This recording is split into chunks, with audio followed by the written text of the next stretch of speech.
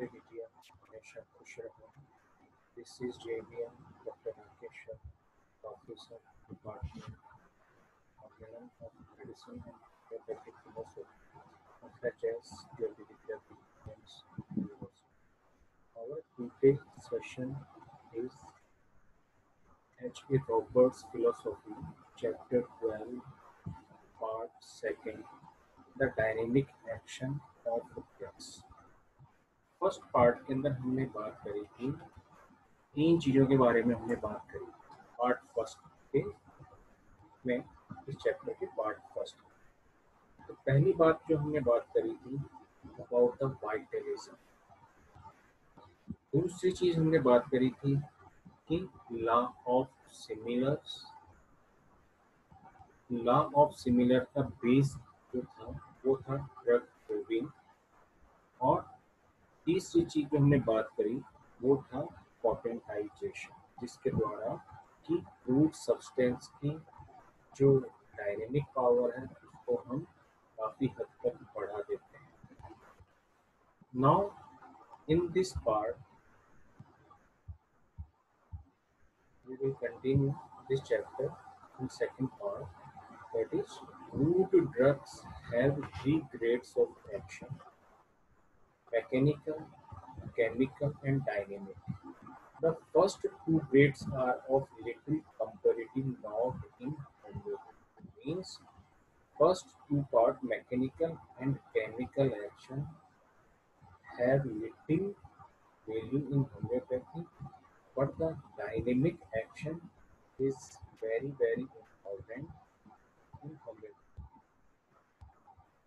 This is demonstrated by the fact that their provings in crude form produce comparatively little of work, whereas in those provings made from the 30th and above, we obtain more complete provings because of the dynamic.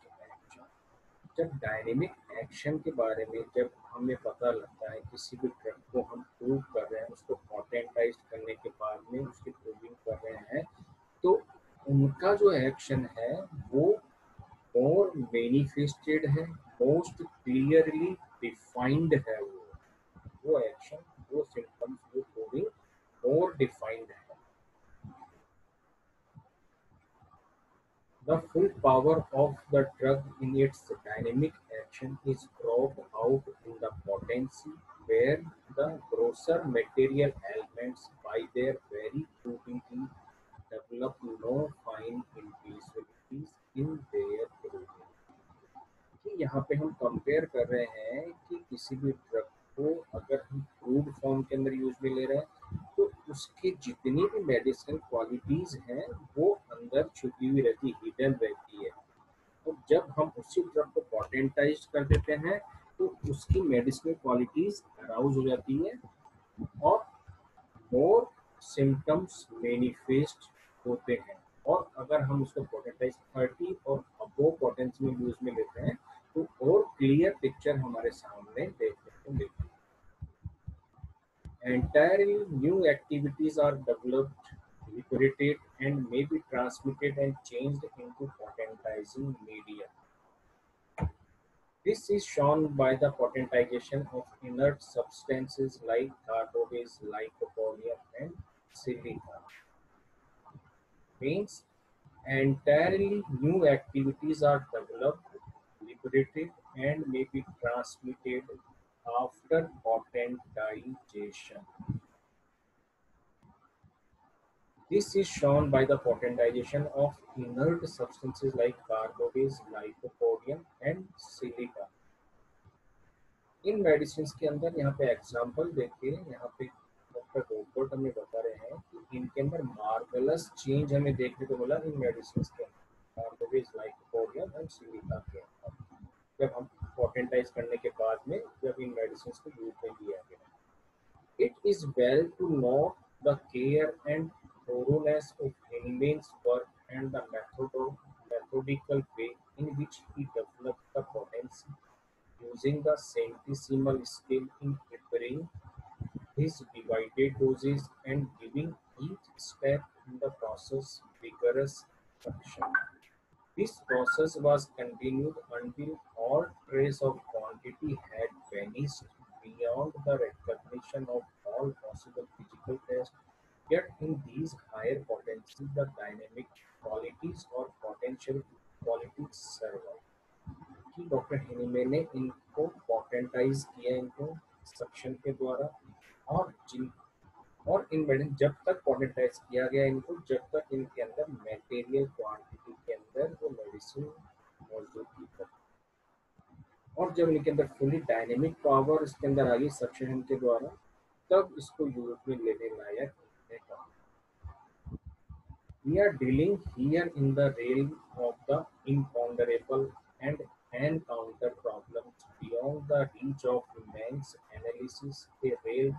where we can only observe effects alone. However, all we can see and all we can hope to know in our observation of human beings is the effects of growth and development. And it is so with our study of medicinal action. This is not only in the study of the potency, but it is so almost entirely in the study of the crude drugs and their action, as well as our study of foods and their action. The effects are there to be seen. But the imponderable nature of the modus operandi is beyond our comprehension. इस paragraph के अंदर doctor Robert हमें ये समझाने की कोशिश कर रहे हैं कि होम्योपैथिक मॉडस ऑपरेंडी कैसे होती है, वो हमें समझने की ज़रूरत नहीं है हमें समझने की ज़रूरत ये है,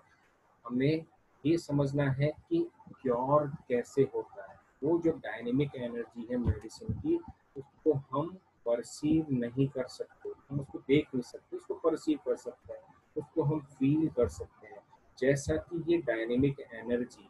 हम जितने भी एनिमल्स हैं ह्यूमन बींग्स हैं वेजिटेबल किंगडम्स हैं, इन सब के अंदर हमें वो वाइटल एनर्जी देखने को मिलती है ग्रोथ के रूप में डेवलपमेंट के रूप में। वही चीज़ हमें ड्यूरिंग सिकनेस जब हम पेशेंट को मेडिसिन देते हैं तो उस मेडिसिन से जो उसके अंदर रिकवरी होती है जो क्योर होता है, वो हम डायनेमिक एक्शन को हम उस रूप में देख सकते हैं उसकी क्योरिटी पावर को हम उसको परसीव कर सकते हैं फील कर सकते हैं, लेकिन हम उसको देख नहीं सकते right right?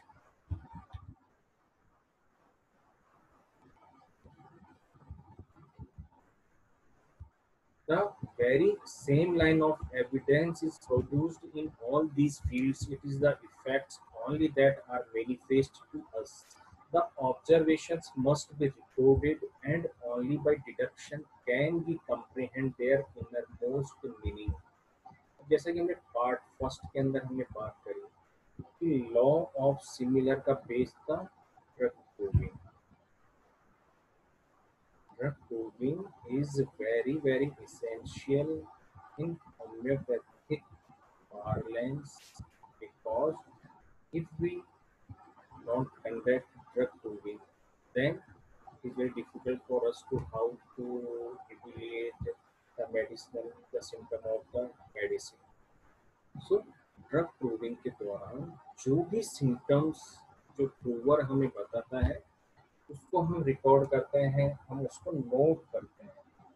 जिससे कि हमें ये पता लगे कि सपोज़ एकोनाइट के ये सिम्टम्स हैं बेलाडोना के ये सिम्टम्स हैं तो हर मेडिसिन का हमारे पास में रिकॉर्ड होता है। और उस रिकॉर्ड के बिहाफ पे हम उन मेडिसिन को डिज़ीज़ कंडीशन के अंदर हम उनको यूज़ में ले सकते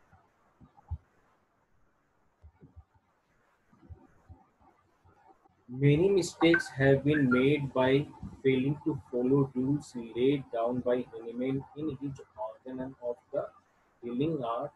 Follow these rules and the result will be in order and observable. Many of the graduates from homeopathic college do not grasp the dynamic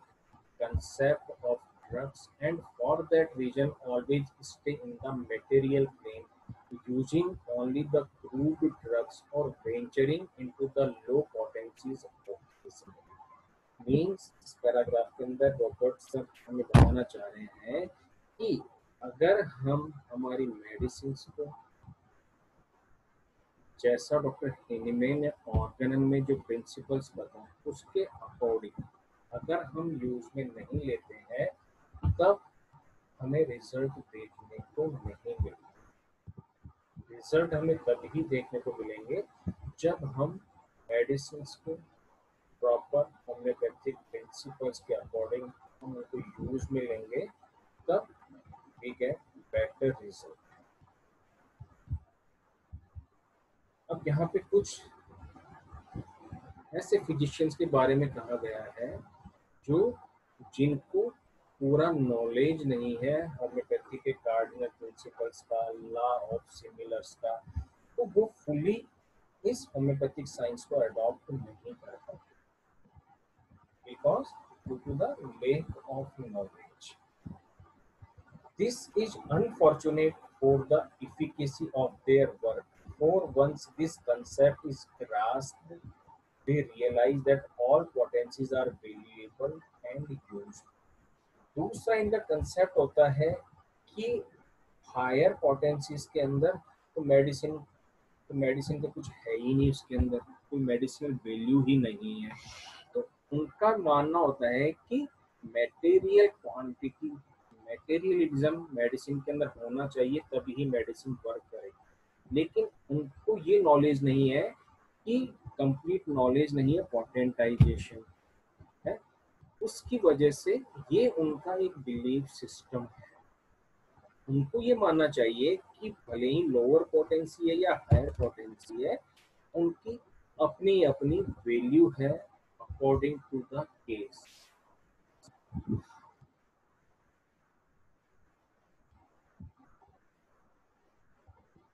and this soon obtain in knowledge and power over disease little realized when viewed solely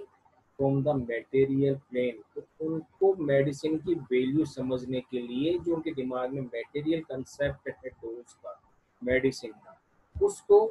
उनको छोड़ना पड़ेगा तब ही जाके ये vitalism dynamics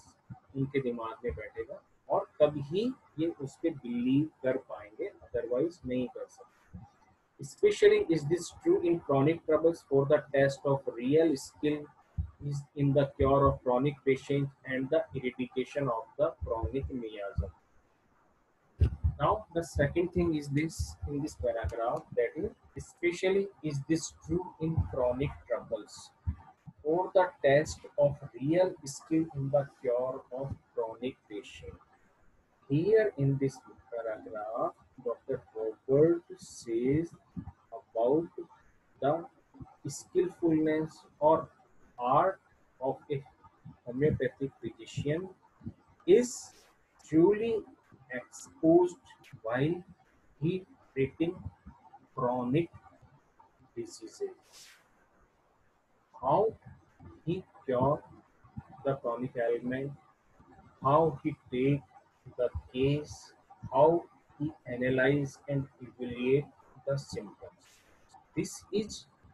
true indication of a physician.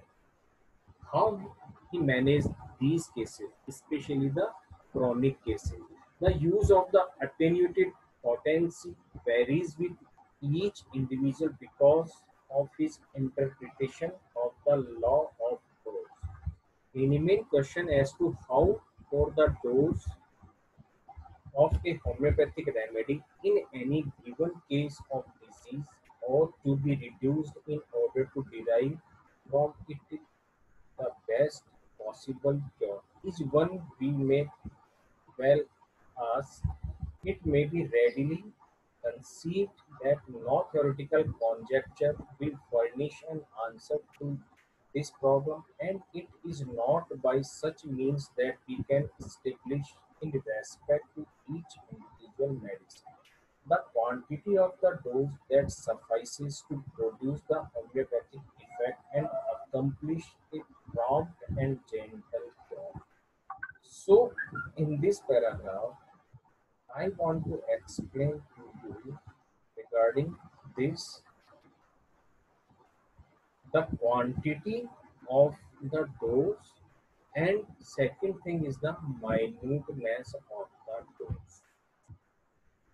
if we are dealing with the chronic case, especially in the chronic cases, we becomes fails due to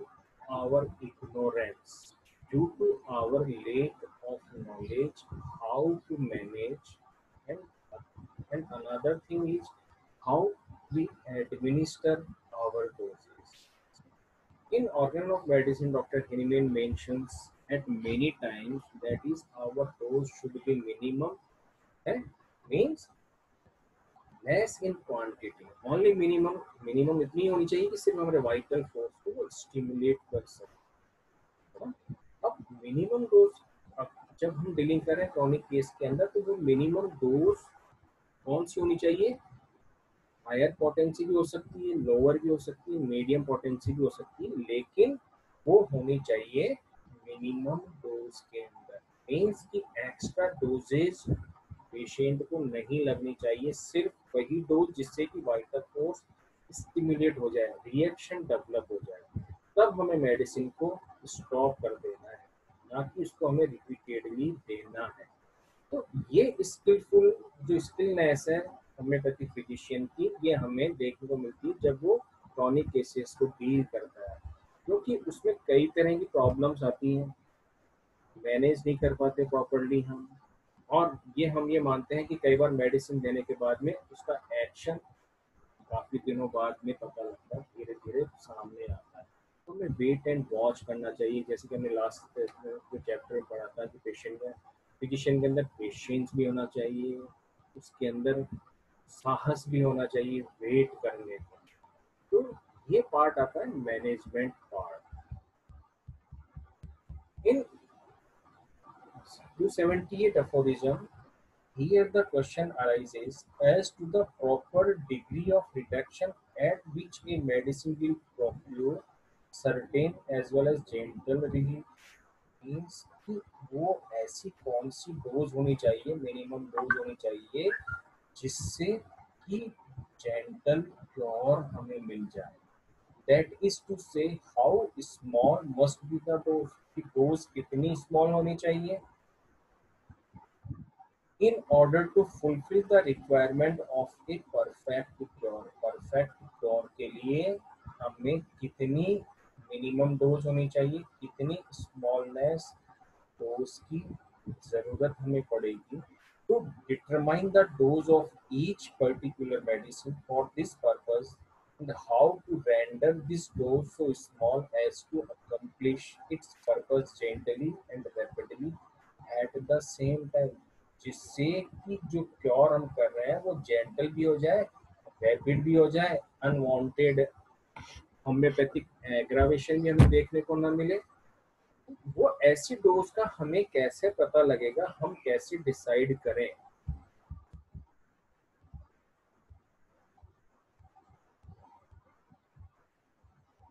Is a problem which obviously is neither to be solved by the theoretical conjectures nor by sophistic reasoning. Pure experiment. Now, the answer is in सब doubts का इन सब problems का doctor हेनीमेन हमें answer दे रहे हैं कि only pure experiments will guide us and accurate observation alone can solve the question and it were folly to adduce the large doses of the old school to disprove the result of actual experience in regard to the minuteness of the dose requisite to perform a homeopathic cure. तो हमें यहाँ पे ज़रूरत है pure experiment की। Experiment का मतलब है कि हमें डिफरेंट टाइप्स की स्किल्स हमें यूज़ में लेनी पड़ेगी क्योर करने के लिए। तब ही हमें पता लग पाएगा कि इस पोटेंसी की ये स्मॉल डोज इस क्योर के लिए सफिशियंट तो हमारे पास में कई तरह के डिफरेंट पैरामीटर्स बने हुए हैं और जब हम पढ़ते हैं कि आपकी पोटेंसी जो डिपेंड करेगी, वो कुछ, उसके कुछ गाइडलाइंस बने हुए हैं, उन पे डिपेंड करेगी। वो गाइडलाइन है nature of the patient sensitivity of the patient है सीट ऑफ़ द डिज़ीज़ है ऑक्यूपेशन मीन्स उसकी ससेप्टिबिलिटी से हमें इस चीज़ का पता लग सकता है कौन सी पोटेंसी यहाँ पे फेवरेबल है, कौन सी पोटेंसी नहीं है। लेकिन जो भी हम पोटेंशियल हम दे रहे हैं, भले ही वो हायर हो या लो हमें उसको देना है स्मॉल में मिनिमम डोज देनी है उसके। In two seventy nine aphorism experience prove that dose of a homeopathically selected remedy can not be reduced so far as to be inferior in strength to the natural disease अब दूसरी चीज़ हमें जो ध्यान में रखनी है वो ये है कि इतनी स्मॉल डोज में ना हो कि वो नेचुरल डिज़ीज़ की तुलना में वो स्मॉलर हो, वो वीक हो। वीक होगी तो फिर होम्योपैथिक क्योर नहीं हो पाएगा। And to lose its power of extinguish and curing at least a portion of the same provided that this dose immediately after having been taken is capable causing a slight intensification of symptoms of a similar major disease. तो इसका हमें पता सिर्फ़ तभी लग सकता है कि आर्टिफिशियल डिज़ीज़ नेचुरल डिज़ीज़ से स्ट्रोंगर होगी तो उसका पता हमें तब ही लग सकता है जब only slight intensification of the symptoms of the similar natural disease means natural disease के थोड़े से सिम्टम एग्रावेट हो तब हम को इस चीज़ का पता लग जाएगा कि आर्टिफिशियल डिज़ीज़ स्ट्रॉन्गर है नेचुरल डिज़ीज़ जिसमें कि डॉक्टर हेनीमैन ने होम्योपैथी एग्रावेशन के बारे में बताया 157 से 160 अप्रोविजन किया।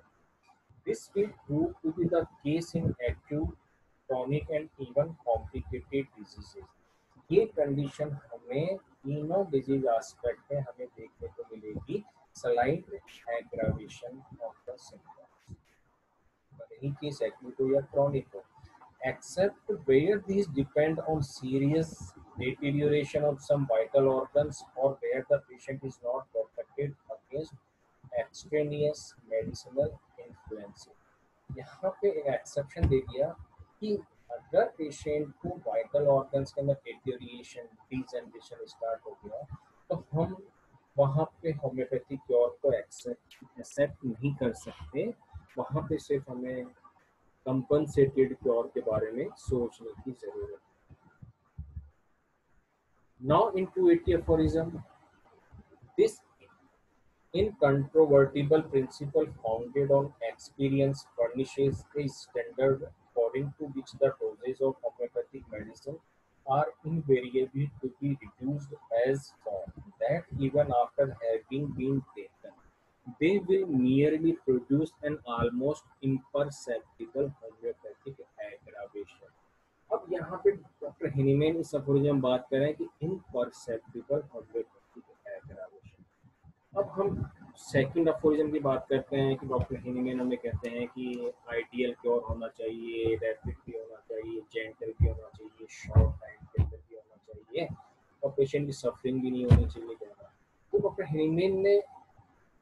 जो उनकी जर्नी की फ़र्स्ट अप एडिशन से लेकर सिक्स एडिशन के अंदर उन सब एडिशन को अपने आप को होम्योपैथी प्रिंसिपल्स को उन्होंने डिफाइन भी किया और चेंजेस और चेंजेस इन्होंने हर एडिशन के साथ में है तो जो लास्ट सिक्स जो एडिशन की हम बात करते हैं कि अगर हम 50 मिलीसीमल पोटेंशियम यूज़ में लेते हैं और उसको हम फ्रिक्वेंटली भी यूज़ में ले सकते हैं तो वहाँ पे हमें जो एग्रावेशन हमें देखने को मिलेगा, वो बिल्कुल नहीं के बराबर देखने को मिलेगा imperceptible. We should not be deterred from the use of such doses by the high degree of rarefaction that may have been reached. However incredible they may appear to the coarse material ideas of ordinary practitioners, their arguments will be silenced by the verdict of infallible experience. तो जो भी materialistic mind वाले जो people हैं उनको ये answer होगा कि होम्योपैथिक जो डोज है जो हम डायनेमिक फॉर्म में हम देखते हैं और वहाँ पे बार कॉम्प्लेक्स मेडिसिन सीवियर एग्रेवेशन भी देखने को मिलता है तो ये उनके लिए एक मुद्दा हो जाता है पॉइंट हो जाता है अपनी बात रखते हैं तो ये उनका आंसर है कि हम मिनिमम फॉर्म के अंदर और रिफाइंड डोजेस के अंदर अगर हम मेडिसिन को देंगे तो इस तरह की कंडीशंस हमें देखने को नहीं मिलती। Since Hahnemann's time, potentization has been greatly developed and we are often able to avoid these slight aggravation, which Hahnemann refers to as almost a necessary accompaniment to the cure. When we get these aggravations, now it is because the remedy has been given too low or repeated too often, or because the patient is particularly susceptible to the powers released by the potentization. When we get this aggravation, तो हमें देख को मिलता है कि अगर repeatedly हमने doses दी है तो हमें होम्योपैथिक एग्रावेशन हमें देखने को मिलेगा when this slight aggravation of the natural disease appears after the administration of the remedy it is an indication of the correct choice of the remedy तो जो रेमेडी हमने दी है वो करेक्ट है कि नहीं है उसका एक ही इंडिकेशन है वो इंडिकेशन है slight homeopathic aggravation So